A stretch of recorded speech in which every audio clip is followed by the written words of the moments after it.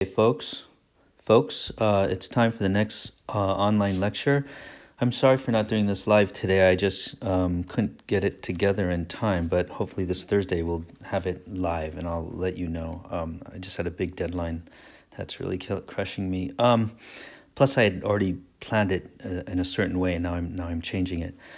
Um, um, okay, so today the problem, the uh, the deal is we will discuss uh, the many body wave function and um, symmetrization for identical particles. That's the plan for today.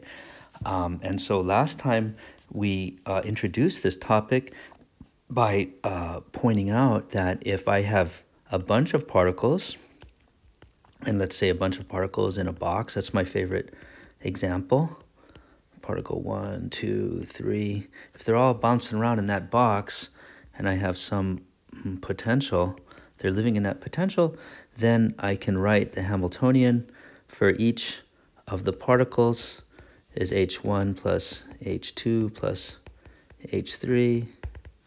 And if the Hamiltonian for each particle is just the kinetic energy of that particle plus the potential energy of that particle, and if and if no interactions between them then it's easy to find the many-body wave function. And we went through the math using separation of variables last time, but I just want to remind you of the answer. And the answer is that uh, we have that the the uh, uh, eigenstates, uh, then then, well, what I should say is it's easy to find the eigenstates, the many-body eigenstates. Uh, where that's the many-body wave function. So the many-body eigenstates are easy to find because we can find a the many-body eigenstate uh, for particle 1 and 2 and 3, etc., is simply equal to, uh, we can just take the, the eigenstates of the single particle Hamiltonian, psi um, 1 of x1, psi 2 of x2, psi 3 of x3, and and make a, a product state. So it's a product state. That's the word we use because it's the product of these different eigenstates where um, the different eigenstates are simply the eigenstates of the uh, of the single particle Hamiltonian. I'll call this uh, I'll call that epsilon i psi i, in which case the total energy is equal to the sum of the energies for each particle. Um, and that's a really famous result. Um, and it, it should, and so the, the, the product state should make sense from a probabilistic uh, argument, probability, because in probability, if if the particle is is uh, having if there are simultaneous things happening, then you multiply the probabilities. Simultaneous. When simultaneous things happen, then you multiply probabilities, and you you know that from probability. Like if I say. Um, what's the probability that I will flip flip a coin and get heads, and at the same time uh, that the coin will be older than 1985. Then then you, you multiply the probability to to flip the coin and the probability that it's older than 1985. So you you always multiply things. So this and that you multiply probabilities. Okay, so that so so this is for for the non-interacting case when the particles don't feel each other, then this is the then this is the situation. Um, okay, so um, and when it's interacting, it's much more difficult, but we won't worry about that now. Uh, but now let's talk about something something new. There's a new idea, and the new idea is that something tricky happens when the particles are indistinguishable. Things get tricky when particles are indistinguishable. And this is a big deal. And it's not obvious, but it's, it's actually quite beautiful and interesting. It's really kind of a cool thing that happens in quantum mechanics. Um, and so the idea is if we, so the idea is this uh, let's consider a many body system, many body system of identical particles. And and and and here it is. Oh, damn it. So it's such a pain to use this iPad. So here are my particles.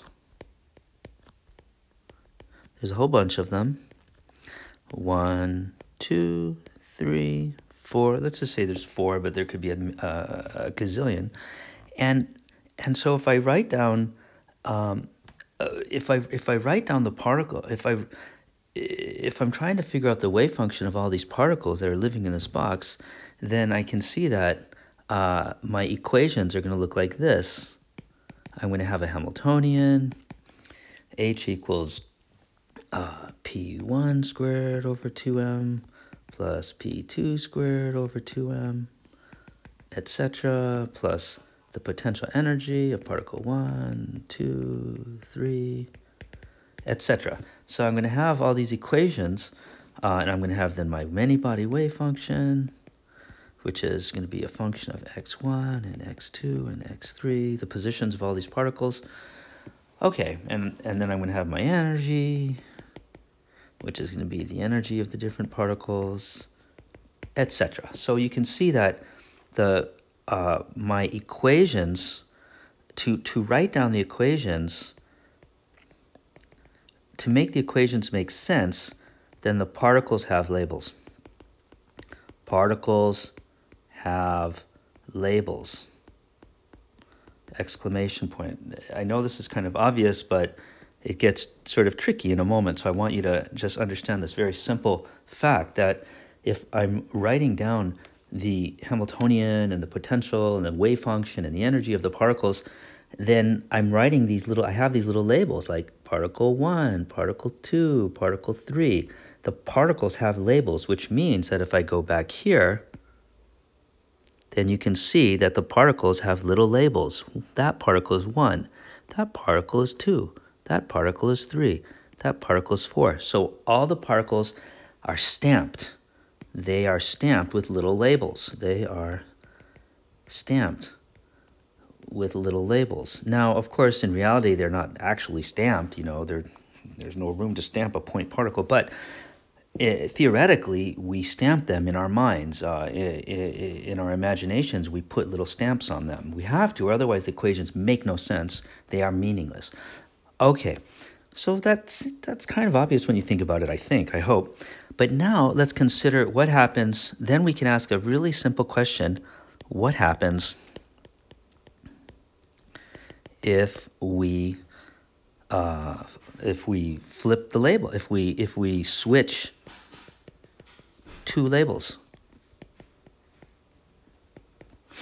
So, so for example, what happens if I take this box and all the particles are sitting there? I got that guy there, and I got that guy there, and I got this guy there. I'm trying to draw the same picture, but now I have one, but now I'll call this guy particle 2, and I'll call this guy particle 3, and this guy particle 4. So you see I have switched two labels. You can see it. Uh, before I had, I'll draw the dash around them. So these two guys, I, swi I flipped their labels. I just switched their labels. Um, and so and so now I, I, I have to switch their labels in the equations. Then must switch labels in the equations. I have to switch now wherever I see a label 2, I got to switch it for a label 3 and, and vice versa. So what happens physically when we do that? And the answer is that sort of the answer is like physically if i how does this change then how does this change the physics? How does this change the observable physics? And the answer of course is that it doesn't. It can't. Because switching my imaginary labels should not change any of the observable physics. The the hamiltonian should must remain the same the Hamiltonian must remain same. The observables must be the same. Observables must be unchanged. Think about it. It, it, it can this should not this cannot the, the names I give the particles cannot change the actual observables. The uh, the the energy, for example, the the energy, the uh, probability density to find the particles at different locations which is equal to psi star psi. These things cannot be changed. Uh, okay, and so um, so that's sort of obvious, uh, but it leads to something, some sort of interesting behavior, which is not obvious. Um, so let's so to try to figure out what that is, then let's um, let's continue. And so to, to, to try to figure this out, let's this means then that what I can do is I can define an exchange operator.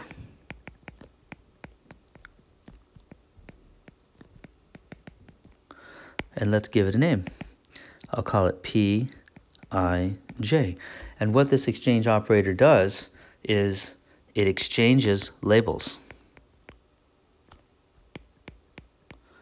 Labels uh, uh, for particle I and particle J. And so, in other words, um, if I have a semi, uh, if I have a many body wave function, uh, let's write it down. If I have some many body wave function, which is a, a wave function of particles 1 and 2 and 3 and i and j, etc., um, then if I hit it with this guy, Pij, the, the exchange operator, then what it does is it turns the wave function into this. It just switch flips the labels. Basically, it switches the labels that we have stamped on the two particles i and j.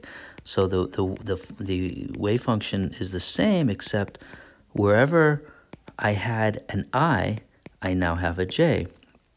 And wherever I had a j in my, in my equation, I now have an i and that's all. So it's actually really simple and trivial, but it's but you know it's one of those simple things that you have to think about for a moment. For example, suppose let's just do an example. So suppose I had my wave function. Suppose I had a two particle wave function and my many body uh, uh, uh my many body wave function for two particles. Let's call them x one and x two.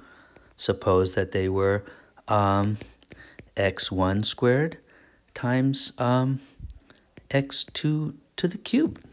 That so that could be my wave function maybe for some particular system, some weird system. And so then if that's my wave function for the two particles, then let's hit that with the exchange operator P12 for that many body wave function. And so what I get now is a new wave function, which is, uh, now it'll be x2 squared times x1 cubed. See, that's it. So simple.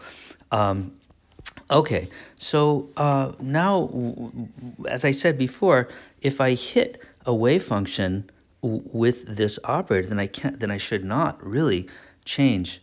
Uh, if if it's a if for identical particles, for identical particles, then it should not change the physics. Shouldn't change the physics. If the particles are not identical, then it can. But for identical particles, it should not change the physics. Um, okay, so let's continue and ask ourselves, what are the properties of this exchange operator? And we can see that uh, this exchange operator has, it's an operator, so then we can ask, uh, what, what are its eigenstates? What are its eigen, eigenvalues and eigenstates? And so uh, that's easy enough to find because to, to solve that, to find that, we just use we just uh, use our, our standard trick and we say uh, Pij, we, we take the operator and we act it on some hypothetical eigenstate and we say, okay, well, if that's an eigenstate, then I must get a constant times the state when I hit it with the operator, uh, where lambda is the eigenvalue. Um, and so then we can do something, then we can ask ourselves, you know, what does lambda equal? Well, to figure that out, let's do a trick. Let's hit it again. Let's hit it twice. Um, and so we'll hit it Pij again. Let's hit it again. Pij psi. And so then we see that that's just the same as hitting this, Pij hitting that. And we see that the Pij goes right through because lambda is a constant. And so then we see that it's equal to lambda squared psi. But then, but then we also know, but there's something else we know because if I hit, if I hit a, a state with Pij and then Pij again, then we know that it must also equal the state itself. Because if I switch the two particles i and j and then switch them again, they go right back to where they were.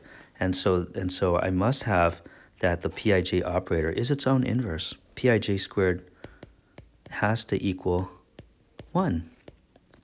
And so that means then that lambda squared psi is equal to psi, the many-body wave function.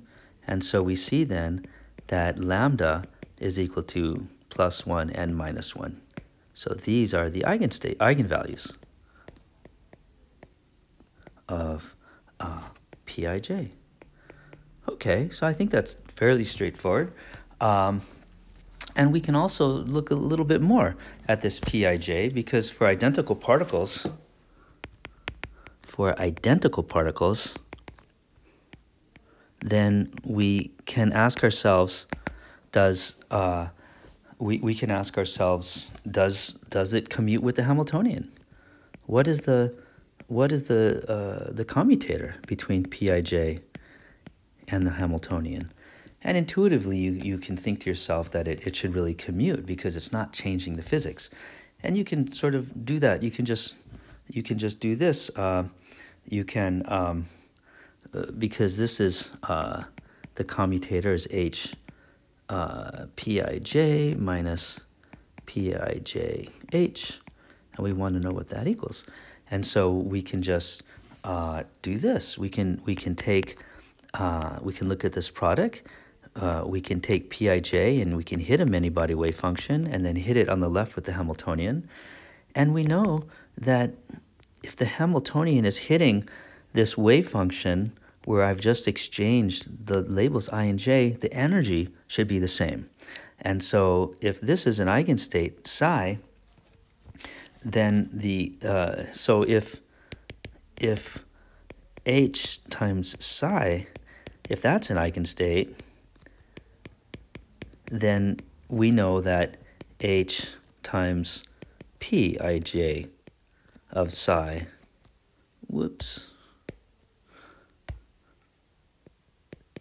must also be an eigenstate. Um, and so if that's the case, then I can just write this as um, uh, En Pij psi. And so then what I can do is um, I can just exchange these now since these are just, that's just a constant. So that's equal then to Pij En psi.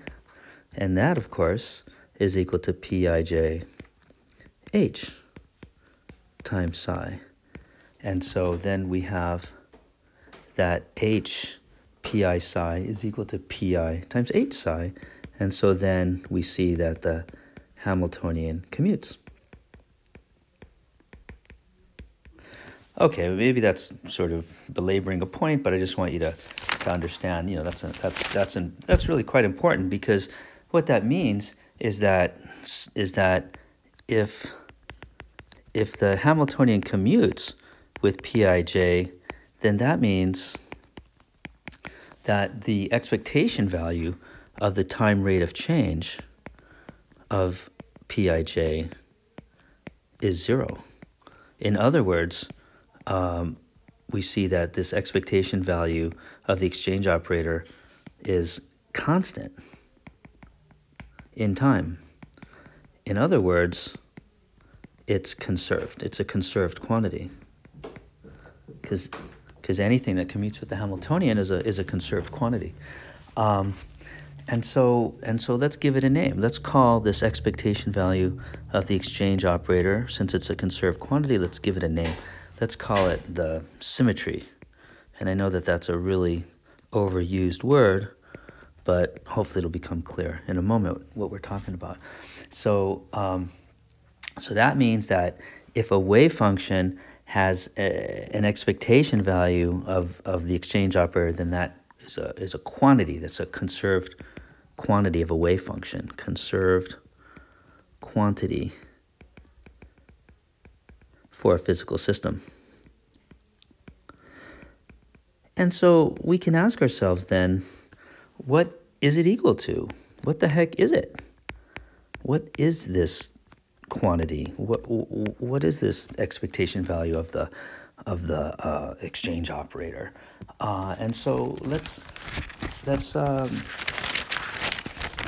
let's just consider it just for a moment, because here's the deal: we know. Then let's think about it for a moment. we we know that um, if I have a, a physical quantity for identical particles, and we're only talking about identical particles right now, identical particles, then if I consider a physical quantity like the um, like the uh, the probability density rho to find particles at certain locations, and that's just equal to the many body wave function star x1 x2 times the many body wave function x1, x2.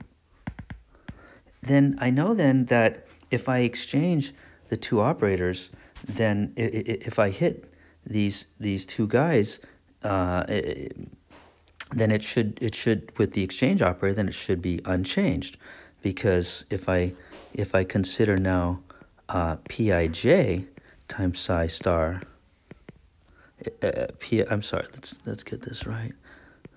If I now consider Pij acting on psi star uh, on uh, times Pij, the same wave function, then it should it should be the same quantity because if I just exchange the labels x1, x2, x3, and this is Let's do it like this. Let's call this xi, xj. And now if I have this xj, xi, then it should be it should be the same. Uh, it should it should be the same.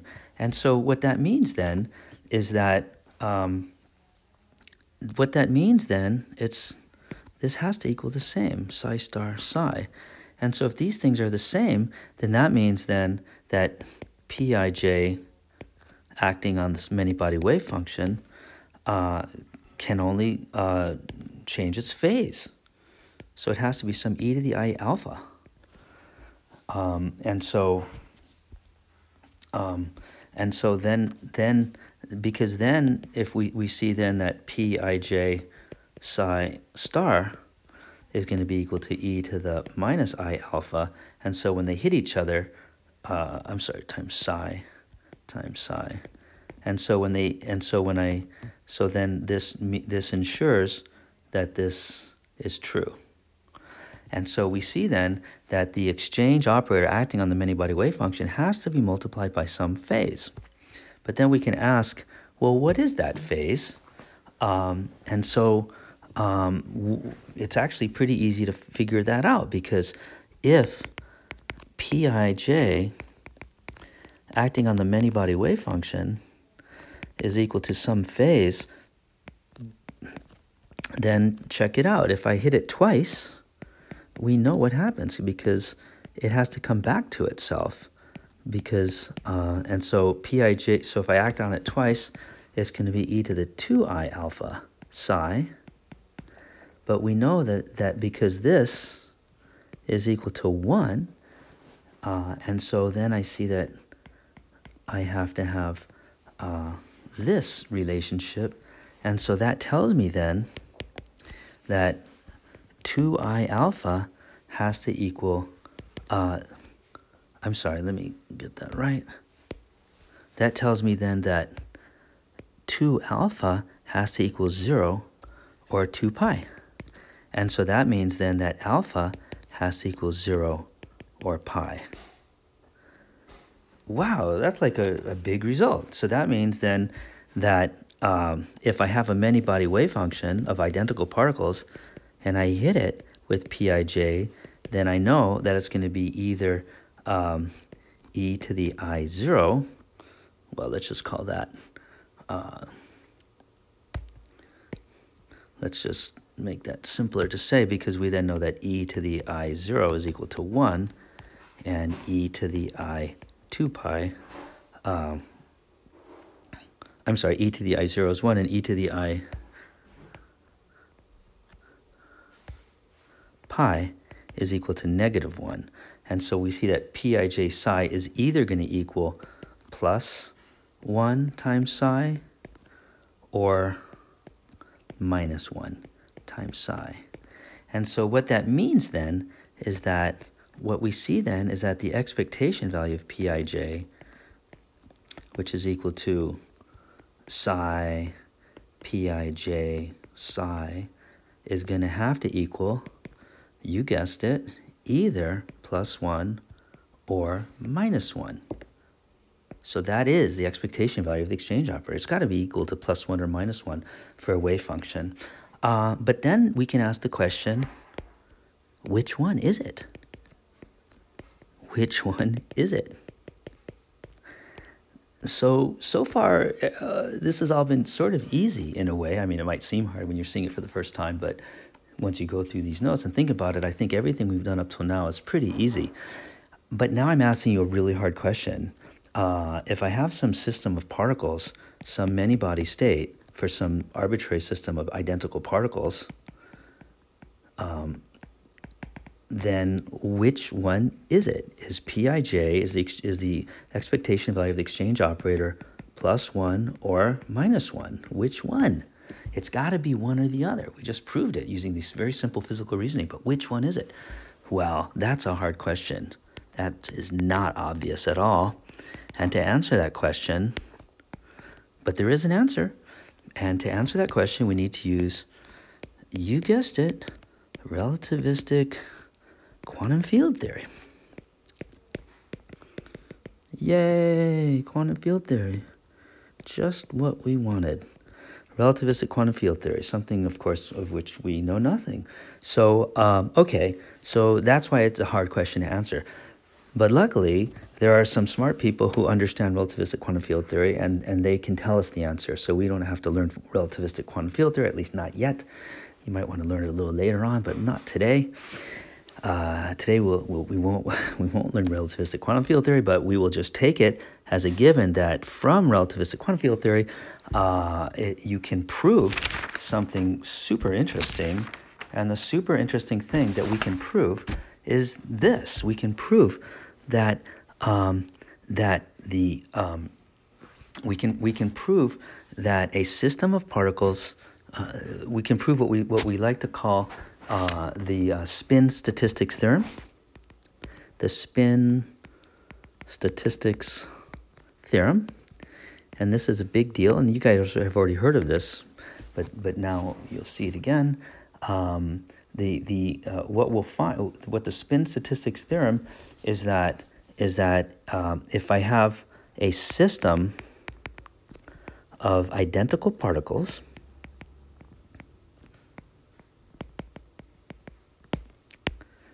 then um, the many-body wave function of that system of particles must be an eigenstate of the Pij of the exchange operator and the eigenvalue depends on the spin of the particles. And you've probably seen this before. Um, if the particles, if if the particles have an integer spin,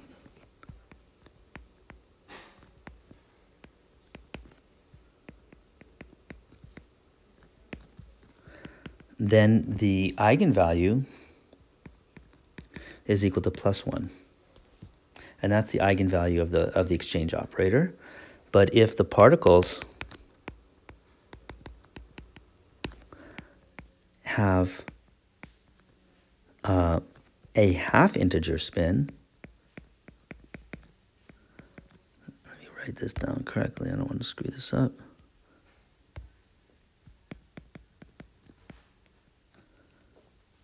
Then the, the eigenvalue of the exchange operator is negative 1. And so these particles that have integer spin, we give them a name. We call them bosons. And these particles that have half integer spin, we give them a name. We call them fermions. And we have to spell it right. Fermions. And this is a really big deal. This is a huge big deal. Um, and so um, uh, that is the spin statistics theorem. Uh, and so this is, this is a profound and important uh, fact of life. And this leads to many interesting behaviors. For example, for uh, fermions, this leads to the very famous Pauli exclusion principle. This is where the Pauli exclusion principle comes from. So what we did today is more fundamental than the Pauli exclusion principle. Uh, but the Pauli exclusion principle is a consequence of what we just of what I just said. And for bosons, this leads to other interesting behaviors such as uh, Bose-Einstein condensation, which I'm not going to talk about, but you can go look it up. And it, it is a consequence of, of, of what I of what we're talking about right now. Um, okay, but let's consider. But let's let's talk about. Uh, let's let's look at some examples of how this affects everyday life. Uh, and uh, I mean, this this is such a big deal. For example, this Pauli exclusion principle. This also leads to, for example, magnetism. You would not have magnetism if it wasn't for this. Uh, and so let's consider some examples of how this affects uh, the behavior of systems of, of uh, multiple particles. Um, so um, let's consider the most important particle of all, which, in my opinion, is of course the electron. And that's, as I said before, I'm a condensed matter guy, and condensed matter people love electrons because, and you have crystals and solids, all the properties really uh, come from the electrons, which are buzzing around. Uh, and so let's consider electrons. And the electron, as you know, have spin one half. And so the electron is a you guessed it, a fermion. Yay, fermions. Um, and so let's consider uh, the many body wave function of, um, of some uh, of an electron. Uh, and so what that means then is that if I have a, a, a many body wave function of, let's say, um, so let's say that I have a part a system of electrons. Um, uh, x1, particle 1, particle 2, uh, particle i, particle j. So then if I hit that um, th with uh, the exchange operator, Pij, then it has to be equal to um, psi many body x1, x2, xj, xi, then that has to equal the original one, but with a negative sign. Psi, many body, x1, x2, xi, xj. Okay, and so this is this is the property. So uh, it's kind of simple in a way, but it's sort of weird and profound at the same time. Um, and so, and of course, if I had if I had a system of bosons, then that that sign would be this would be a plus sign if bosons. Like in bosons, of course, an example of bosons would be, say, photons, for example. Okay, so um, so what is the what are the consequences of this? Um, what are the consequences of this? The main consequence, the, the, the most practical consequence, is that what happens is that this is telling us that if, if you have a system of multiple identical particles, then the many body wave function must be symmetrized. That's the word we use. Must be symmetrized. And it must be symmetrized and what that means is that we is that that many body wave function must be uh, constructed in such a way that that if I hit it with an exchange operator, any exchange operator that switches the labels of any two particles, then it has to either equal plus one or minus one uh, times the many body wave function, depending on whether it's um, depending on whether it's a bosons or fermions, depending on whether it's fermions or bosons. So this is the main consequence, and and this might seem sort of simple and trivial, compare you know, cons- considering all the things we've already been talking about. but it's actually uh, sort of a tricky thing because constructing a symmetrized wave function is not is not completely totally obvious how to do that. Uh, for example, let's let's let's do it right now. Let's let's let's construct a let's construct a many body wave function. Let's construct the many body wave function right now, and let's see how we deal with all this symmetrization stuff. And so let's let's consider my favorite situation, my favorite wave function, which of course is particle in a box. Particle in a box. I love particle in a box and everything at some level you can think of as a particle in a box, in my opinion. And so let's consider a box, and let's put some particles in it. so let's just say that this part, this box is, is has, has a length from zero to one. Put a little glitch in the corner there, but just ignore that. And so then you know uh, that um, from last semester, you guys know that I'm going to get a bunch of energy levels. I'll draw three of them. And this one I'll call, uh, you know what the ground state looks like. It looks like this. That's a pretty bad drawing, but whatever, good enough. And then the next excited state has a node, and the next excited state has two nodes, etc. You guys know this. and so this one, we'll call this part, we'll call this wave function A is equal to uh, sine um, pi x and because I made the length equals to 1, that makes everything sort of simpler. Um, and so let's call this one, and, and, maybe I'm being a little sloppy with the normalization, but let's go with it because that, that's not the main point right now. Psi b is going to be equal to sine 2 pi x, and psi c, the third, the third one is, is going to be sine, you guessed it, 3 pi x. Okay, so so this is a this is a typical uh, particle, a typical potential well, v of x, and these are the, the eigenstates, right?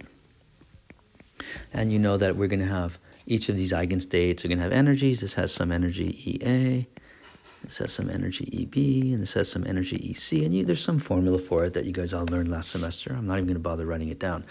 But what I want to do now is I want to put two particles uh, into uh, this, uh, I want to put two particles into this box. Put two particles into the box. And let's make sure they're identical. Two identical particles into the box. And let's let's call them um, let's say electrons. And you can actually do this. You know, we, people do this in the laboratory. I mean, this is I mean, I've done this. You can actually do this. Uh, this is not just hypothetical. People actually do this in the laboratory. So let's put two identical particles into that box, and then I can ask, you know, what's the wave function?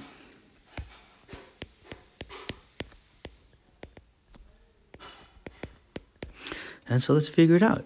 So let's let's construct a wave function. So uh, the question is, where do those two particles go? So to construct the wave function, what we do is just we just put the particles into different states. It's so simple. Just stick them into whatever states you want and see what happens. So let's put them both. Let's put one in part. Let's do this. Let's put one of them here in psi A and let's put the other one here. Okay? You see these little dots there and there. So that means then that my many-body wave function, which is a function of the two particles, x1 and x2, I can now write it as the product of those two because let's assume let's and of course we're assuming no interactions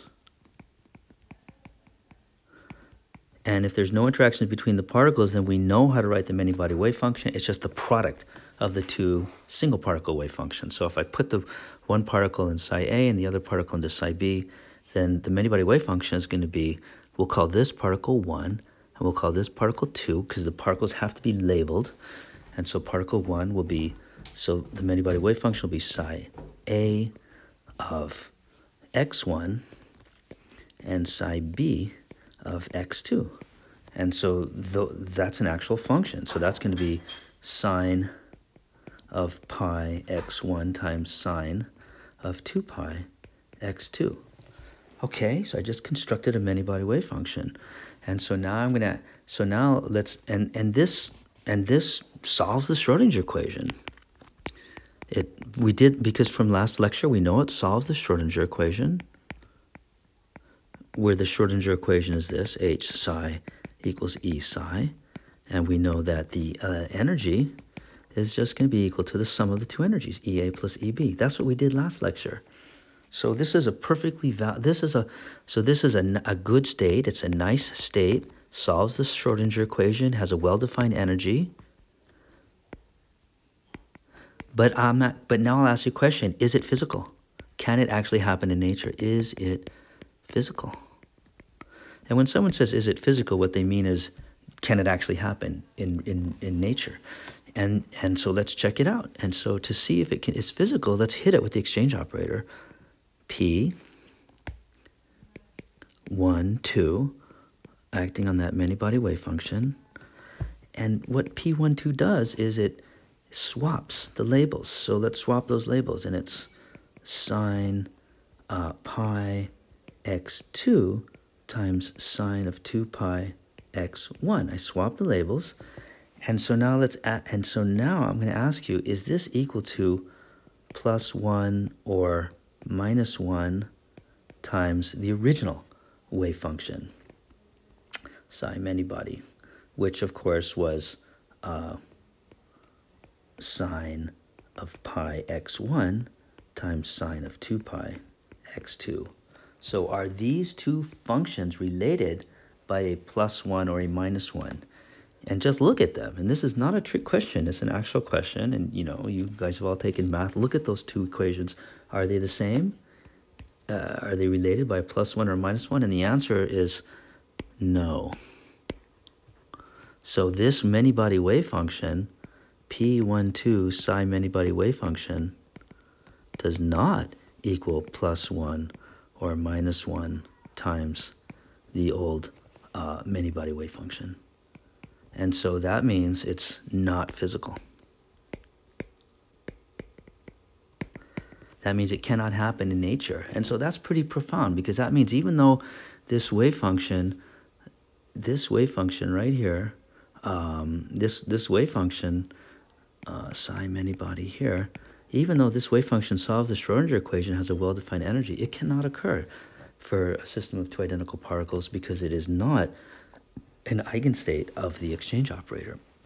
So how do we make it into an eigenstate of the exchange operator? Well, let me let me show you how. Let me just uh, show you how to do it. If I have uh, what I can do is I can put the two particles into these two states, psi A and psi B, but I gotta but I gotta construct my wave function in a really weird way. Check this out. If I construct it like this, psi many body is equal to uh, if I construct it like this, psi A of x1 times psi B of x2, where, where the, the psi A and the psi B are the sine pi x1 and sine 2 pi x, 2 pi x. If I, if I have it this product, but then if I also do this, suppose I say minus, and now I say psi A of x2, psi B of x1. Okay? So suppose I make this. Now let's let's consider this. Now let's hit that with the P1, 2, the exchange operator. And now check it out. I'm gonna now I'm gonna exchange those labels. Psi A of x2, psi B of x1, minus psi A of x1, psi B of x2. See, I exchanged the labels in my wave function, but now check it out. Let's compare these two things. And, and we notice something quite beautiful, which is that P1 to psi many body is equal to negative uh, the original wave function. So this wave function is properly symmetrized. So that means that this wave function is physical. So this wave function is physical. It can happen. And of course, if we look at the energy of this wave function, we just have to hit it with the Hamiltonian. And the Hamiltonian is h1 plus h2. And I'll leave it as an exercise to show that h times this many body wave function is equal to uh, the energy EA plus EB times the many body wave function. And you guys should show that yourself. Hit it. Do it yourself and show that it really is, that this really happens. So this is an exercise. Show this. And if, if it makes no sense what I'm saying, then you should talk to the TA to figure, you know, to, to if, if what I'm asking you to do makes no sense, then please talk to the TA uh, and, get, and get this straightened out because this will then show you that the energy of this state is EA plus EB. So this state, and this is a really weird state, let's go, it's this state up here, it has, it is a physical state, it is a eigenstate of the exchange operator, uh, where the, uh, you can see that the, it's symmetrized, the, the, uh, um, and the, and the uh, eigenstate, uh, the eigenvalue of the exchange operator is minus one, which it should be for, for fermions, um, and, and it has a well-defined energy. So this is a good state. Okay, but when you look at that, it's kind of weird, and you might ask yourself, how did I, how did I know about that? How did I know, how did I figure that out? Where did that state come from? What is the rule? How do we construct these weird states? How do we construct these symmetrized eigenstates? in general because I just did that for a system of two particles, but what if I had three particles or four particles or a million particles? How do we construct symmetrized states? And it turns out that there's a trick. There's a really cute math trick that allows us to do this. It's a math trick. And the math trick is to use what we call a Slater determinant. and this is the general trick for creating symmetrized wave functions. So this allows us to create uh, symmetrized, fully symmetrized wave functions for uh, systems of identical particles. Systems of identical particles. So let's talk about what a Slater determinant is. Um, okay, so let's talk. Let's do a Slater determinant. So let's consider n identical particles.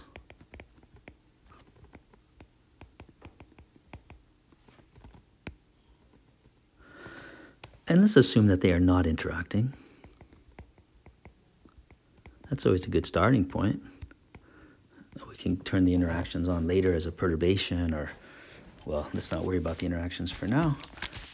Uh, and then what we can do is we can ask ourselves, how do we construct, construct the, uh, uh, a physical many-body state of those n particles, x1, x2, xn? how do we construct a physical state that has, for example, where the energy is equal to E1 uh, plus E2 plus E3. How do we construct this state? Well, here's the trick. Let's do it right now. Here's the big trick. I'll call that the nth eigenstate, psi n, for this system of n particles. Big N number big N is the number of particles, and that little n is the eigenstate, and this is equal to some constant a times here it comes a determinant, and the determinant is like this, psi a, so that's the eighth state of the Hamiltonian of particle 1, psi a of particle 2. Let me just write it down. Uh, once you see it in all its glory, then you can figure it out. Then it makes more sense. Uh, psi b is another state, and I put particle 1 into state psi b. Now I'm going to put particle 2 into state psi b, and now I'm going to put uh, the nth particle into state psi b state number B, and then I go uh, all the way down to some arbitrary state, psi I'll call it, um, x1, and I'll put particle 2 into this state psi, that's particle 2 living in state psi, and then I'll put particle n into state psi x n. And this is a determinant. Okay, this is the wave function, this this determinant. And so let's let's just write it all down before we look at the details. Uh, and so here I have n states. The states are enumerated by the rows because see this is um, you can see how this is the eighth state. This is the state B and this is state C. So that's the rows. And then um, the columns tell me the, the particles. We can see that there's n particles from the columns because see this is column 1. So in this column all the states have particle 1. In the second column all the states have are particle 2 and in the third in the last column all the states are particle n. So uh, I want you to see how this is a it's a it's a matrix. It's a determinant, and the the rows the rows uh, identify the, the the which state, and the columns identify which particle. And let's continue because then we have the normalization A a, the normalization, uh, is equal to 1 over square root of n factorial for fermions and something more complicated for bosons. Um, 1 over square root of n factorial times n sub a factorial times n sub b factorial, etc., for bosons where Na is equal to the number of part of uh, where Na is equal to the number of particles in state A, number of particles in psi sub A, and NB equals the number of particles in psi sub B, etc. Okay, so that is the wave function, and and it's a determinant. Uh, but uh, so for fermions, it's a normal determinant.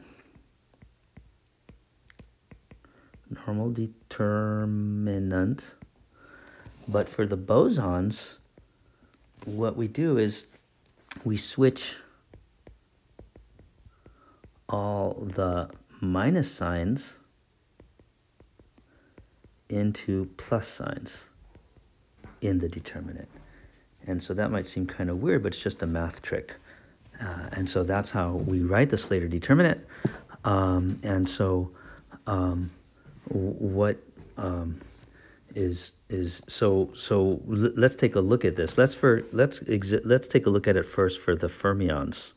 And there's something quite beautiful about this determinant construction because immediately you can see how it satisfies the symmetrization um, of. Uh, you can see how it satisfies the symmetrization properties because here you can see for uh, if I if I uh, what you can see is that um, if I um, w- what you can see is that particle exchange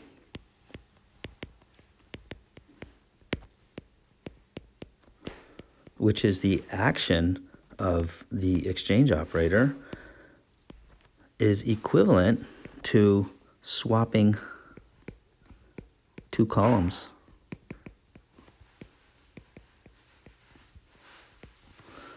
And so take a look at it because now if I was to hit this thing with the operator 1, 2, then that's equivalent to switching, sw swapping column columns 1 and 2. You can see that because if I if I change the labels of of this column and this column from 1 to 2, then it's just I'm just swapping those two columns. And and and when you swap two columns in a determinant, then uh, something that you know from linear algebra is that uh, swapping columns in a determinant uh, is the same as multiplying times negative 1. And so that's a trick. So uh, that's a linear algebra trick. So we know that that swapping two columns multiplies uh, uh, the determinant times negative 1 in linear algebra. So that's kind of beautiful. And so that tells me immediately that, that this construct is satisfying the symmetrization. So swapping any two columns uh, um, is, is, uh, gives me the negative sign. Uh, also, something else is uh, for fermions, then if, if, if two, col- if, if two columns I'm sorry, if two rows are identical, then we see that the determinant equals zero. And so you can see immediately that if if I put uh, if if two columns if if two rows are identical, then that's the same as the, as putting two particles in the same state.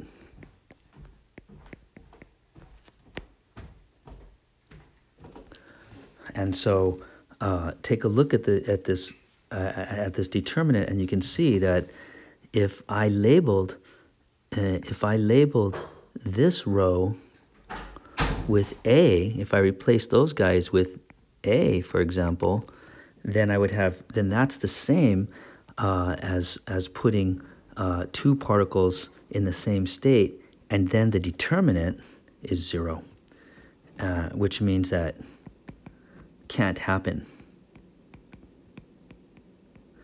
It means that it can't happen in the sense that then the wave function is zero. And for the wave function to be zero is the same as saying it cannot happen. So that that is, and what is that? That is the Pauli exclusion principle. So the Pauli exclusion principle is an unavoidable uh, is an unavoidable consequence of the antisymmetrization of the fermionic wave function. So for fermions, then can't put two particles in the same state. And if you if you don't understand what that means, then just uh, take a look at this at this Slater determinant, and and just notice that if the um, if I put if I have the same label, then the two rows are the same, and and so the determinant is zero because if two rows are the same, that's a property of linear algebra. If two rows of a determinant are the same, then the determinant is zero. And if, if you don't know about that, then you know go maybe go and look at a book in a linear algebra book to remind you of that because that's sort of like one of those uh, common linear algebra uh, tricks. So now let's look at for okay. So now let's look at for bosons. For bosons, then what we have is it's okay to put multiple state to put multiple particles in the same state.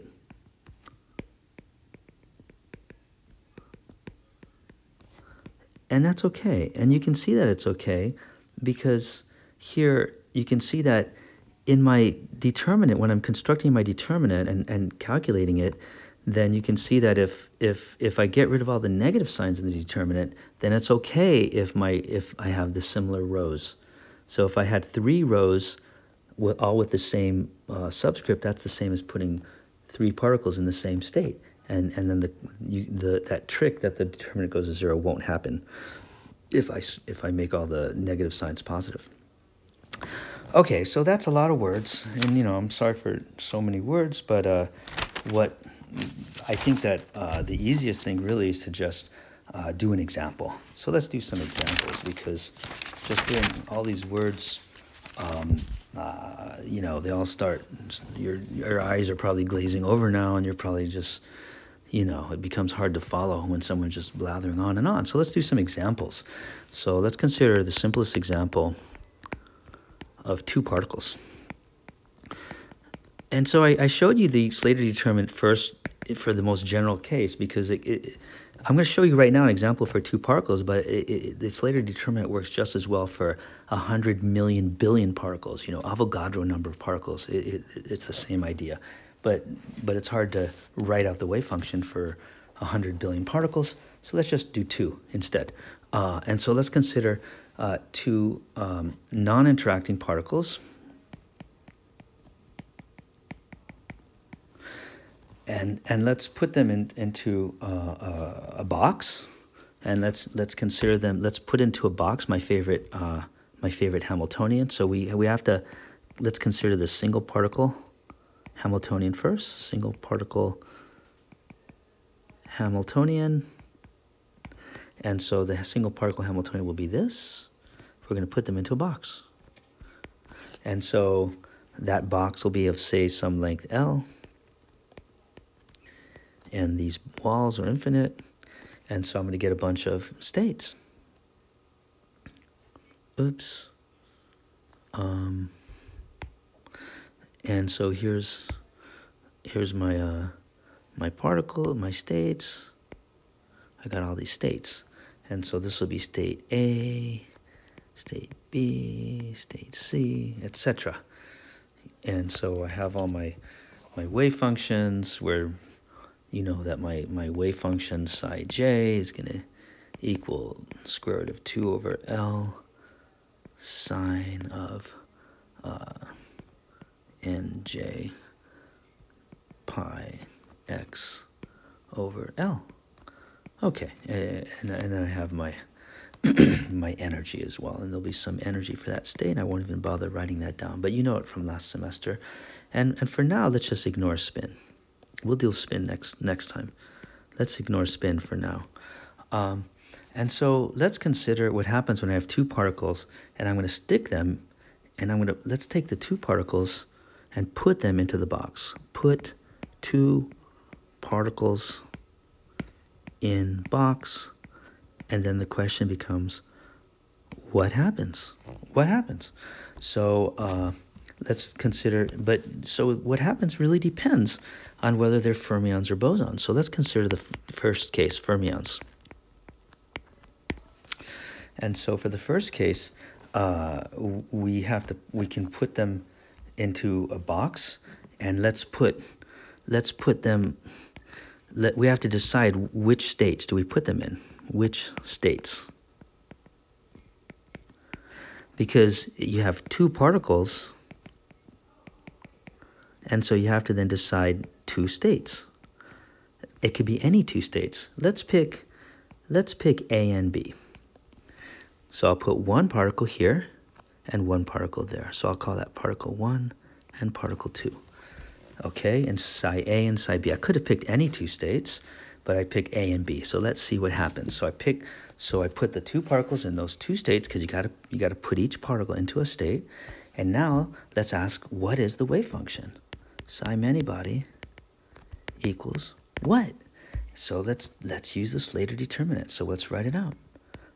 Psi many body of the two particles, particle 1 and particle 2, uh, is equal to 1 over the square root of n factorial, which is 2, 2 factorial, and I got it, it's a, it's a determinant, and so now I, I have to make my determinant, so it's, it's going to be a 2 by 2 determinant, and so the first, the, and the row is labeled by the state, and so the, the first one is, is state A, particle 1, and the next element is state A, particle 2. And then the next row is, is the second state, which is state B. Whoops. Um, state B, particle 1, and state B, particle 2. This is, this is just the construct. So now I got to calculate this determinant. And so it's going to be this minus this, right? That's how you do determinants. And so, so the many-body wave function is equal to 1 over square root of 2 times, let's do it, psi a x1 times psi b x2 minus psi b x1 times psi a x2. So that is my many-body wave function. And so let's take a look at that.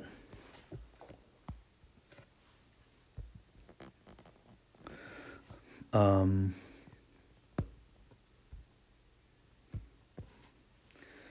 I am having a little problem here. The, my iPad has frozen up. All right, let's do that. Let's go back to that. Why has it frozen up?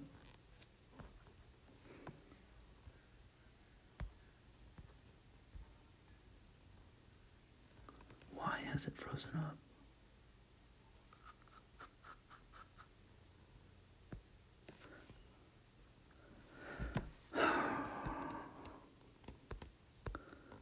Oh, this is really annoying.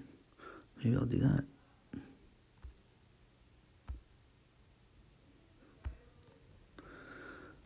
This is the first time this has happened to me. Why did it freeze up?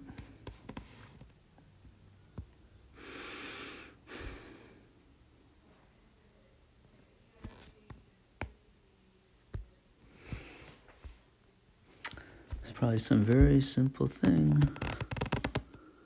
Probably hit something weird. Well, let's try to erase something. Alright, that erased. And now it came back.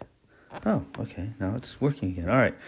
Jesus Christ, fucking piece of shit thing. Okay, so um, good. So that's the many-body wave function. You can see it there. Uh, and so now let's uh, take a look at it and let's just to just, just to make sure, let's hit it with the exchange operator P12 psi many-body. Uh, and then let's hit it with that exchange operator, which exchanges um, those labels. And so now I have psi A of x2, psi B of x1, minus psi B of x2, and psi A of x1. And I want you to take a look at that, and I want you to, to notice that these things are related by a negative sign. So one of them is equal to the negative of the other. Uh, and that's quite beautiful. And so we can see then that P12 of psi many-body is equal to negative psi many-body. And so then this many-body wave function here that we just wrote is physical. It's allowed by nature, allowed by nature, because it's symmetrized and has the right symmetry. It has the right uh, eigenvalue of the uh, exchange operator. Um, and so that's really quite cool. Um, and then also you can check to see that if I hit this many-body wave function with the Hamiltonian, where the Hamiltonian is h1 plus h2, that's for the, the Hamilton, that's the energy of particle 1, particle 2, then you can see that the Hamiltonian acting on the many-body wave function is equal to uh, energy A plus energy B acting on the wave function. And I leave that as an exercise to you to show. And so then we can see then that the energy of this state is, is just the sum of energy A and energy B. So we have figured out an allowed uh, wave function. Uh, but now we can ask ourselves, then we can ask ourselves, what's an excited state? Um, and, and so we can say, what's an excited state? Um, excited state? And to make an excited state, what we can do is we can put the particles, if this is psi A, and this is psi B, and this is psi C. Uh, now before we put the particles in psi A and psi B, particle 1 and particle 2, but now what we can do to make an excited state, we can put particle 2 up here into psi C. And so this is an excited state. And so then we can see then that we can construct the excited state wave function, uh, which then is, is going to be, uh, which is going to be then uh, psi many-body, and the excited state will be 1 over square root of 2 factorial times this, psi a of x1, and so we have particle 1, uh, one of the particles is in psi a, and now the other particle is in psi c. So let's get that correct. Psi c of x1. Uh, and um, and psi c of x2. And so we can do that. And so then that is gives us the, the, the allowed wave function. And uh, I won't write it all out, but then you can see then that if we do the same uh, uh argument, you can see then that the energy of the excited state will be EA plus EC. So we've just, so this is the next, uh, ex, the next higher state. So that's the, I'll call that the excited, the next, the, the excited energy, the next higher level. Next higher level. Now, so now, but now let's ask ourselves, what happens if those particles are bosons? What about bosons? Let's make the particles into bosons. And so let's do the same thing, but for bosons. So now let's have the same, the very same well, psi A, psi B, psi C, the same potential. But now, if let's let's have let's put put two bosons into the box, put two bosons in box. Then what is the allowed wave function? And what is the allowed energies? And so let's do it. Um, so let's let's put so where do we put the two particles? Now, we could put them the same place, psi A and psi B, but let's try it differently. Let's do something different. Let's put the two particles into the same state. Let's put them both into psi A. That's particle 1 and that's particle 2.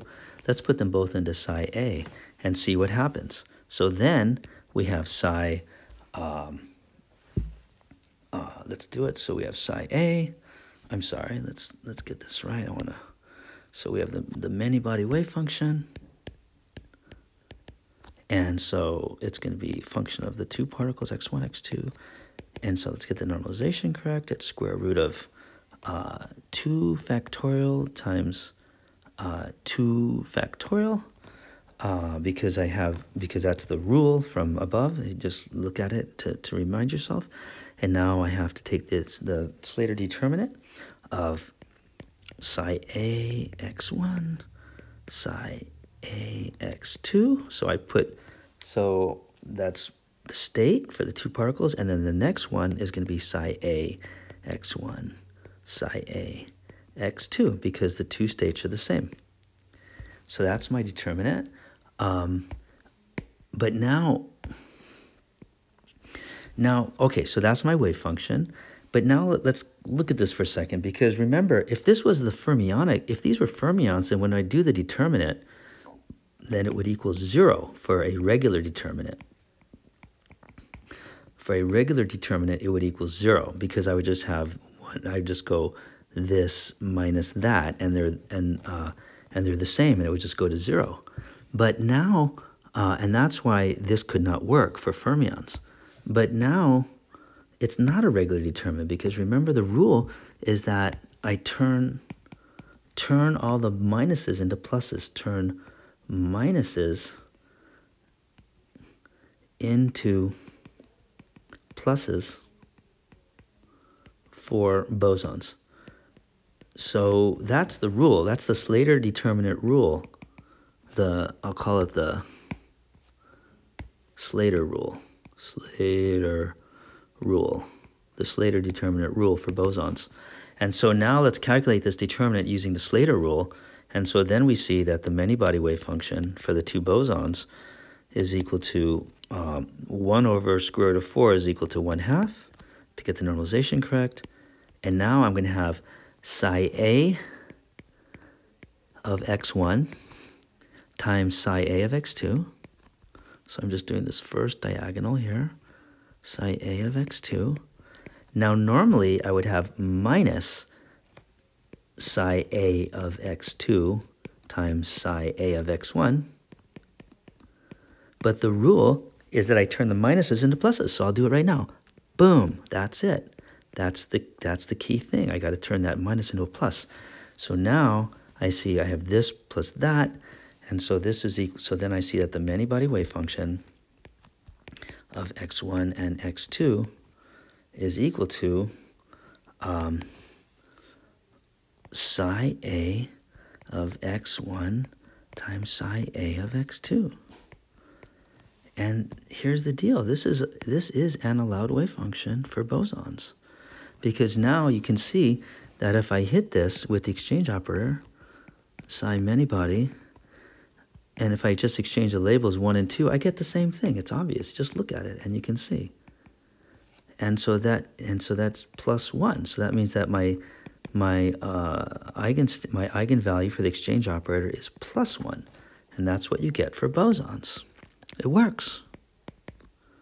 It works. And what is the energy? Well, the energy is just going to be the energy of those two states, and it's going to be EA plus EA equals 2EA. You just add up the energy of each state. Uh, and, and so I just want you to see that this is very different. So this, so this state is not allowed for fermions. And so the point is, is that, is that if I, even for the same potential, I'm going to get very different states, very different, very different states and energies depending on whether I have bosons or fermions. Bosons or fermions. So whether the particles are bosons and fermions makes a big difference. Um, and we call this, so what we say then is we say that bosons and fermions have different statistics. That's the word we like to use.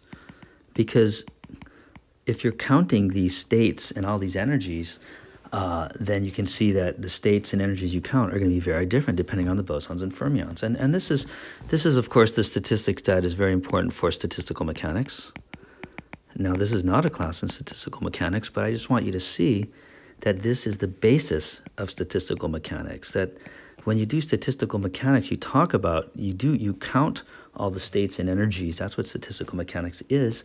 Uh, but the basis of statistical mechanics is is this uh, um, is the is quantum mechanics what what we just went through, uh, and so I just want you to appreciate that. Um, and so now what we can do is we we can ask ourselves um, uh, what we can ask ourselves are there any other effects are there any other effects of the symmetrization.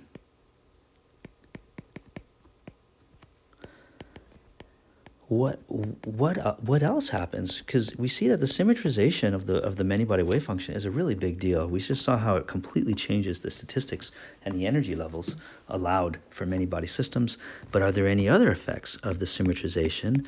And the answer is yes, because the symmetrized structure of the many body wave function leads to actual physical consequences. There are physical consequences to the symmetrization. Physical consequences to the symmetrization of the wave function, symmetrization of psi. And when I say the symmetrization of psi, what I mean is like the fact that psi is equal to this weird, uh, you know, uh, Slater determinant right? It's this weird determinant, and that is the symmetrization, you know, is that this weird structure to the wave function that leads to actual physical consequences that you can measure. And I'll just mention that one of those physical consequences is magnetism. So the fact that things stick to your refrigerator is a consequence of the symmetrization of the many body wave function. Okay, and that's where we will stop for today. And so this, okay, so uh, I'll see you next time.